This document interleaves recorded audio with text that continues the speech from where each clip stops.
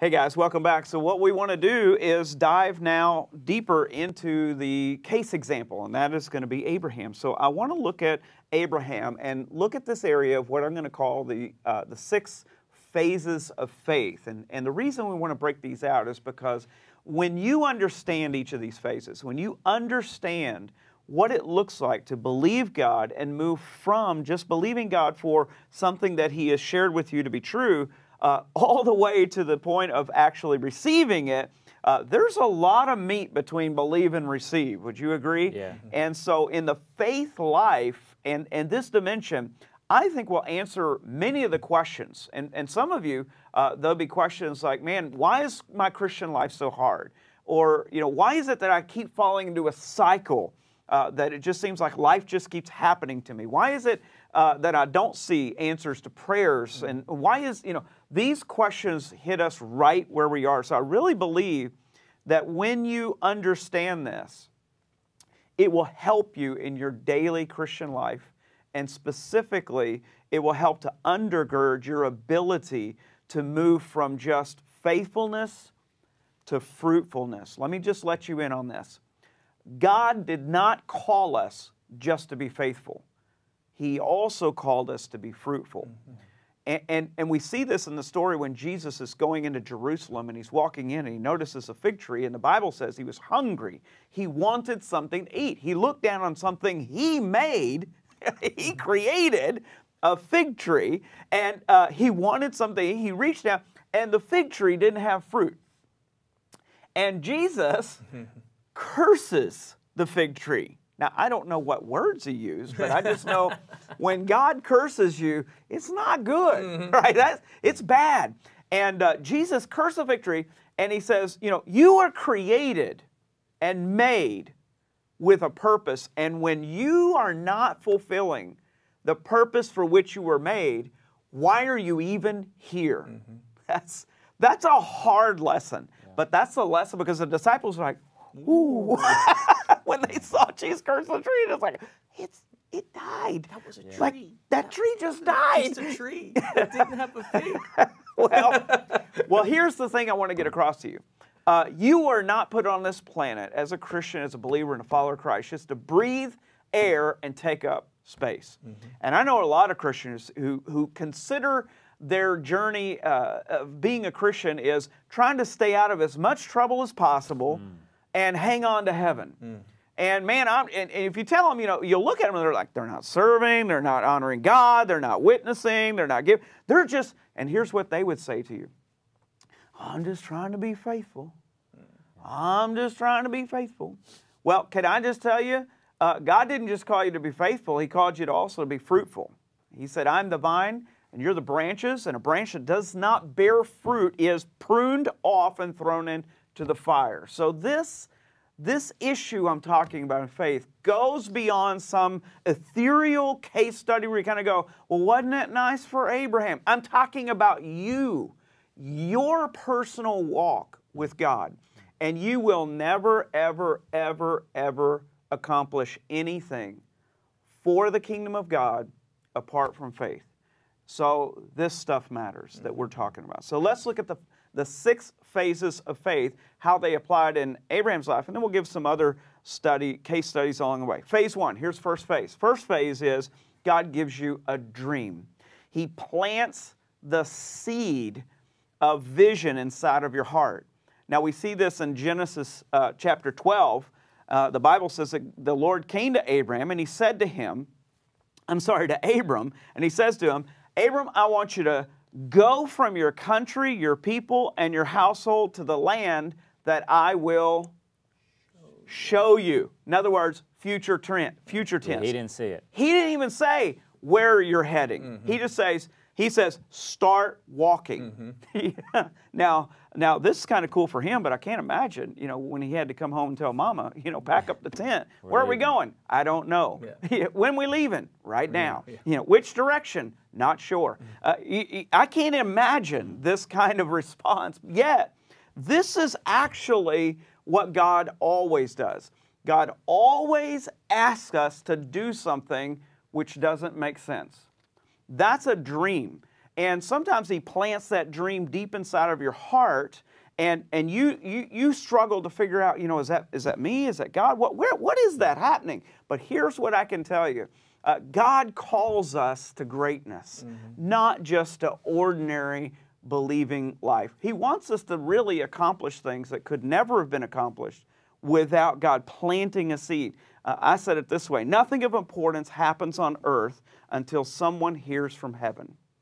Nothing of importance will ever happen on earth until someone hears from heaven. You know, when you look at that, I mean that that's why when the person who really isn't kind of doing anything says, "Oh, pastor, I'm just trying to be faithful." They're not even using the word the right way. Yeah. Like what they're calling faithful isn't faith at all. They're not full of faith by just kind of getting by. Yeah. Being full of faith would be, "Oh my gosh, I don't understand how God used me to accomplish this amazing thing."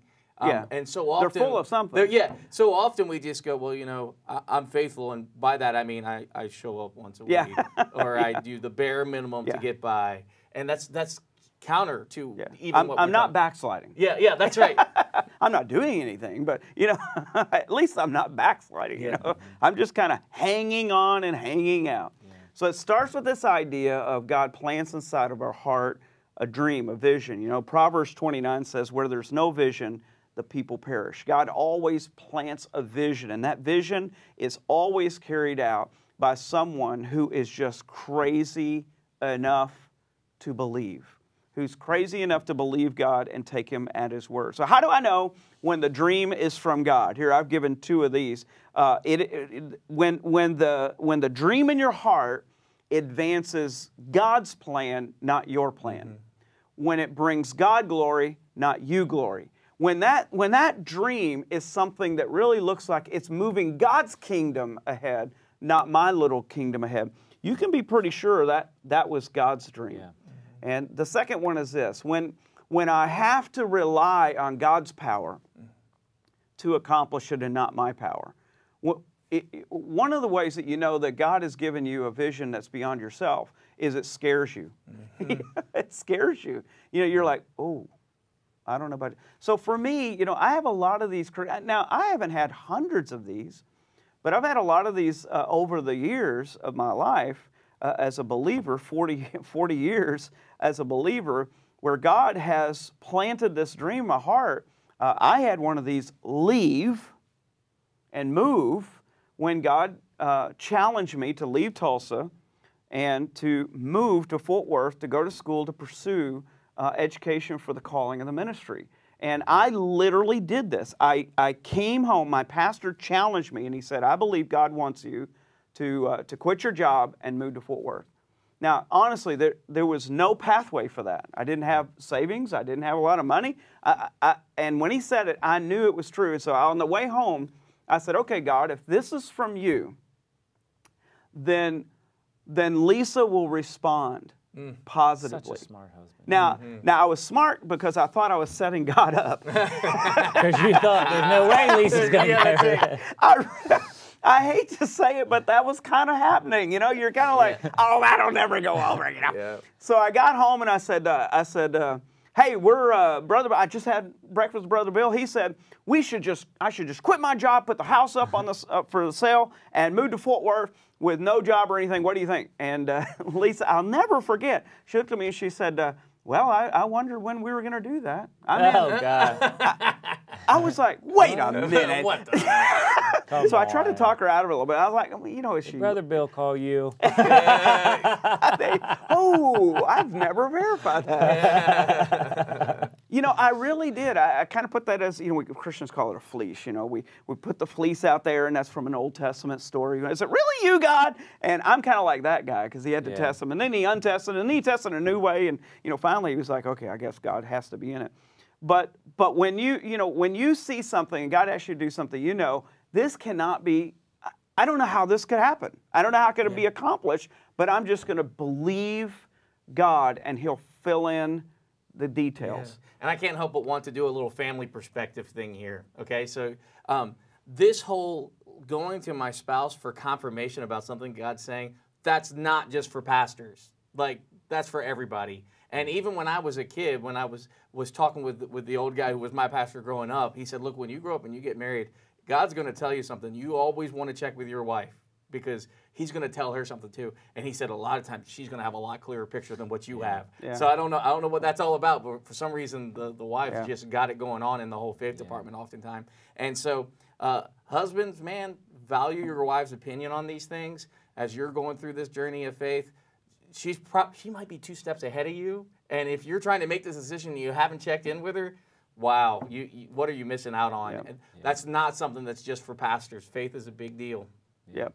I, I'm sure that for many years, Pilate's wife was reminding him, I told you. I told you. told I told you. I told you not to do that. I told you not to mess with him. Yeah. now, then you've got Job's wife, and I don't even know where to yeah, go with yeah, that. no, okay, no, we won't right, touch that yeah, one. We won't even touch that one. Look at this verse with me. Ephesians chapter 3, verse 20 says this Now, to him who is able to do immeasurably more than all that we ask or imagine, according to his power that is at work within us. So, in other words, uh, God is bigger than what we could even dream or imagine. And so, when you when God plants the dream, that seed of like a, a dream, and for Abraham, that was, uh, I'm taking you on a journey. Let's go. Do you trust me or not? It always leads you to phase two. Phase two is a decision, and most most dreams die on the floor of decision. God plants a dream in your heart, and you go, I I don't, I can't, I won't. Never could. I, I don't won't think I happen. can. Yeah, I just don't see it. I, you know, I need more. I, you know, God, God, you got to lay it out for me. Uh, You know, if you'll show me the map Yeah. Yeah, right. where we're heading and tell me the roads, you know, then I, I, I'll give it consideration. The, honestly, I think that's where most Christians, uh, you know, that's where they fall short on the ability to do something great for God. God's never going to call you, you know, to do something great for Him, which which is rational. It's just not going to happen. It's going to be something you go, wait, what? That makes sense. Uh, and that's where things die. And so look what he does. He makes a decision. Verse 4 of Genesis 12. So Abraham went. You know, you could just stop right Yeah, there. Right. So he went. Now, this is what makes Abram the, the great father of faith. Because uh, I love the beauty of his spirit here. Uh, God says, let's go. And he says, all right. Yeah. And real faith involves this dimension of obedience. Obeying God is doing what God says, uh, the way God says, when God says, with the right heart attitude.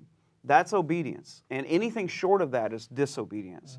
And so for the believer, when God says to do, he's, he's God, the creator of the universe. When God says jump, you, you can say how high, but you better be in the air. Yeah, You know, yeah, yeah. you, you better already be in the air when, when you say, okay, but how high? Look at this, and it says, uh, he just went as the Lord had told him. In other words, it was an obedience to what God had revealed. Not just what he wanted, but what God had said for him to do. And, and this little side note's going to come into play. Now, Abram was 75 years old when he set out from Haran. So he was no spring puppy. If you think he's just having, you know, we expect like an 18 year old to have this mm-hmm. vision, you know, and I'm going to jump out and, you know, God told me to do it and I'm going to go. And we kind of expect that because we look at those people and we say, well, you know, they just don't have enough life, you know, and they haven't had enough experience to figure this out. But this guy's been walking with God a long time. Yeah. And I don't know about you, but I'm only I'm you know I'm 55. But I the older you get, it seems the harder it is to to respond and react. Yeah. Because I've got so much vested. Well, yeah, and I think also you get comfortable and you and Yeah. you, you take less risk, which I think show us that's what it shows us with Abram is that hey, even though you've been walking with the Lord for a while, you still need to take some risk. You still need to Yeah. be willing to, to listen to Him, walk by faith in Him, and and that and it might be later in life even. You know, I think I think that's an encouragement, isn't it, as well? Because it's like you're, God's not done with you. That's I right. mean, you might be, you know, in your 50s, in your 60s, in your 70s, and God wants to do something in you, and He'll still use you. I think that's what's encouraging. For the believer in Jesus Christ, there's no such No thing as retirement. There's only reassignment. Did you hear what I said? There is no such thing as retirement. There's only reassignment. There's more for you to do until you draw your last breath. So he's got to make a decision. And he says, God, I'm all in. Now, listen, here's the thing uh, a, a dream from God will always cost you something, it will always cost you. And I think about uh, the process that you have to go through where he has to leave behind. God says, Leave your country, your family, everything that you know, leave that behind and go to this destination. And the truth is, you can never go where God wants you and stay where God has put you.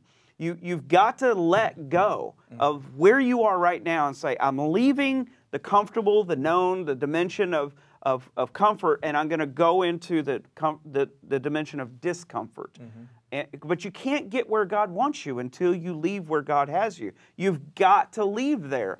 Uh, think of the trapeze artist. You know, I don't know if they do this anymore. You have to go to Cirque du Soleil when there's not COVID or something. Yeah, but- something, yeah.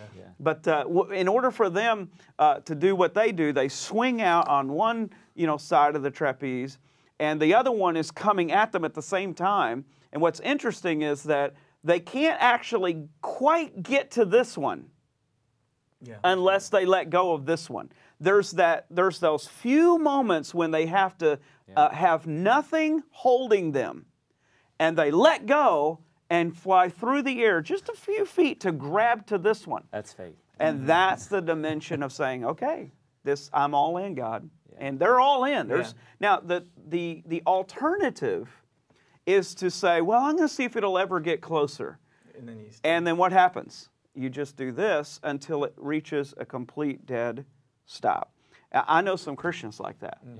They just kept saying, God, bring it, bring it a little closer, make it a little clearer, make it easier for me to obey you. You know, the truth is, a lot of people do this with the tithe. The fact is, you, you may never ever be able to work out the ration and the reason and the budget and the numbers. Mm-hmm. And God says, okay, but do you believe? Mm-hmm. Do you trust me? And this is the dimension where God, listen, I'm just going to say it like it is. God will not bless your finances as long as you keep holding out on Him in disobedience. So, so uh, I, I don't know why this is. I don't know that this is a guarantee, but stuff just works better and lasts longer in household of faith. People who believe God, trust God, and make tithing a priority, for some reason their stuff works longer.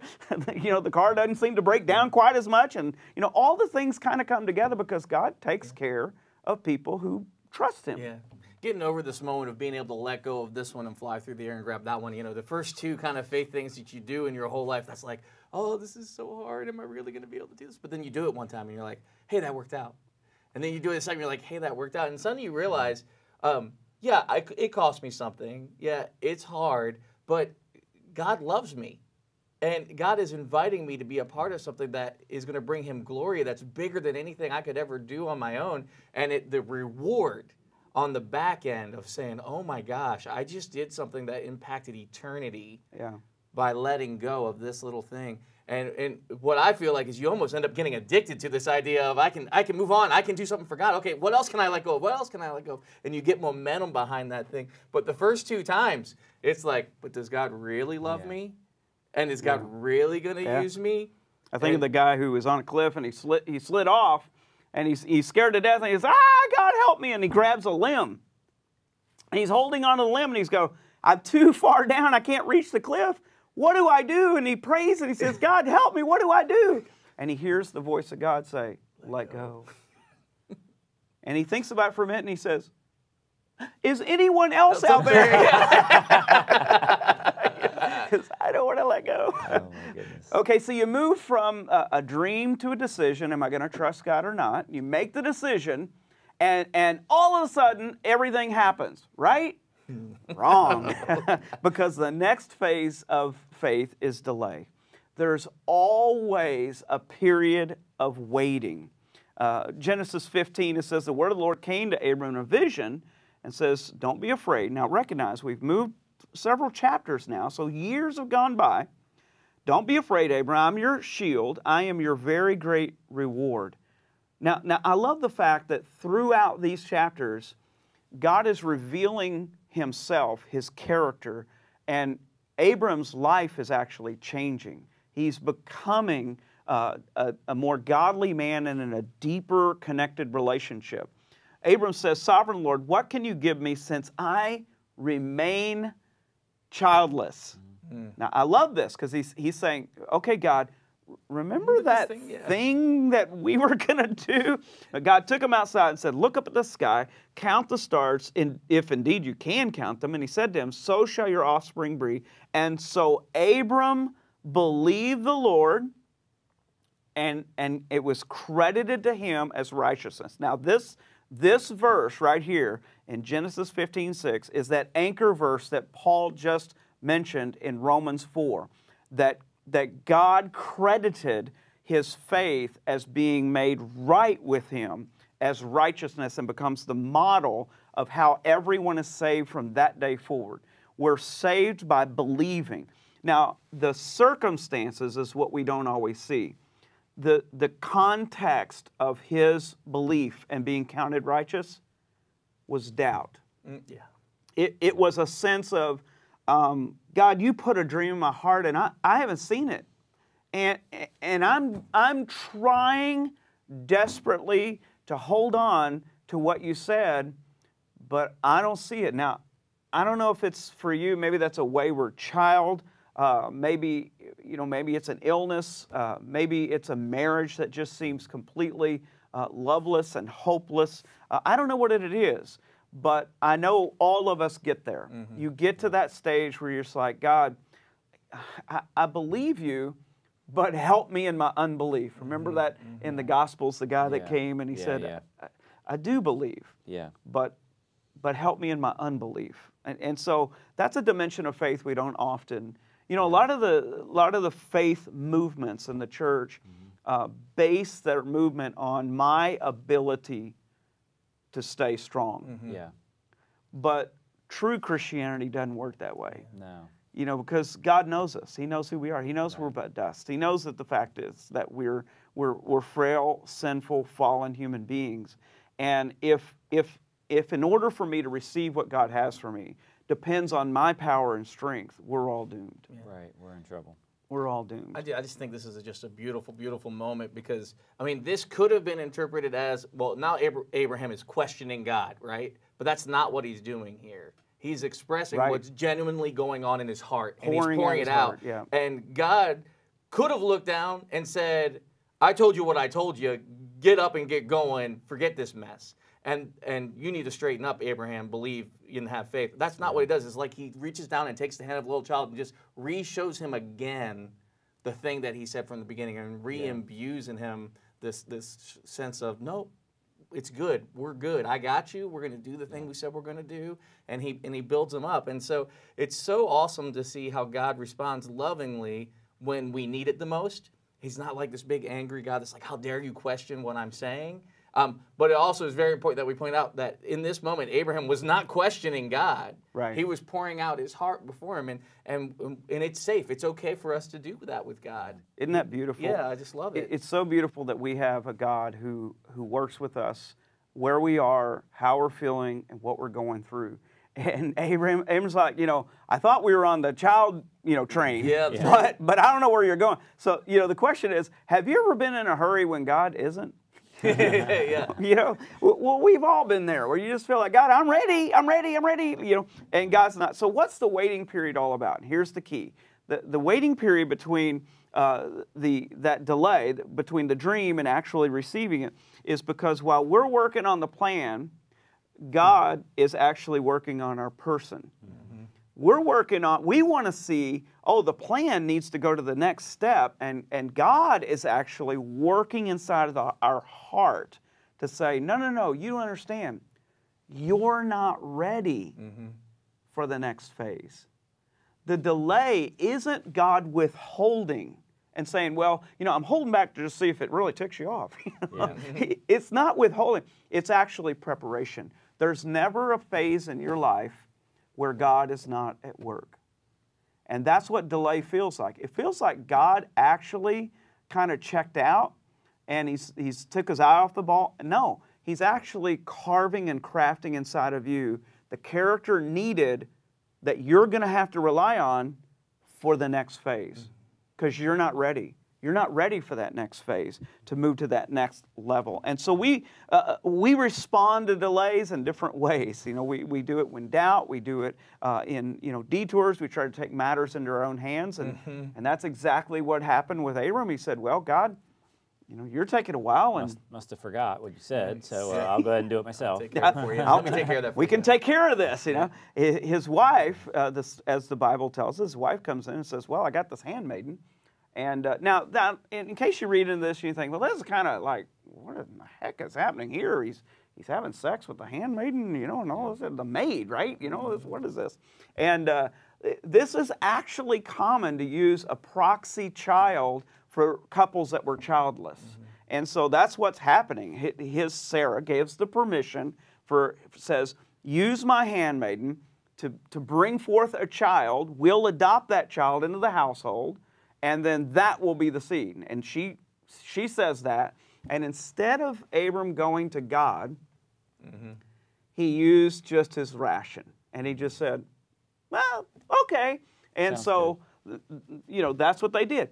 And and there was always a problem when we tried to do God's purposes in uh, with our power. Mm-hmm. Anytime we say, "I'm going to take matters into my own hands," you're dead in the water, mm-hmm. and that's what he did. And then uh, sometimes uh, we just leads to despair, and that's what that's what we find with with him. So I want to end with this verse in this session, and, and uh, then we'll move into the next phases, and it's in Habakkuk 2 3. And the Bible says this Because the things that I plan, says the Lord, will not happen right away. Slowly, steadily, surely, the time will approach approaches when the vision will be fulfilled. Now, if it seems slow, do not despair. For these things will surely come to pass. Just be patient. You see, they'll not be overdue even a single day. And so God says, listen, when I've given you a word and I've given you my promise, trust it. Yeah. Uh, there's nothing. There's nothing that can prevent uh, what God wants to do in your life. Nothing can go against the will of God. And so God says, "Listen, just trust me that during the season of delay, God is still making a way, and that way actually is through you. It's through your own heart." So with that, let's break here with the first three phases, and then in the next session we'll finish it out. We'll see you then.